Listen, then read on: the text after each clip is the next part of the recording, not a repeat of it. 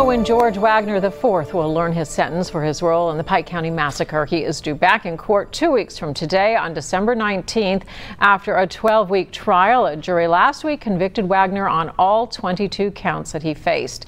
Eight are aggravated murder charges that carry a minimum sentence of 20 years each.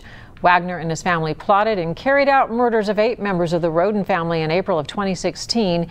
His mom and brother pleaded guilty. His father is still awaiting trial.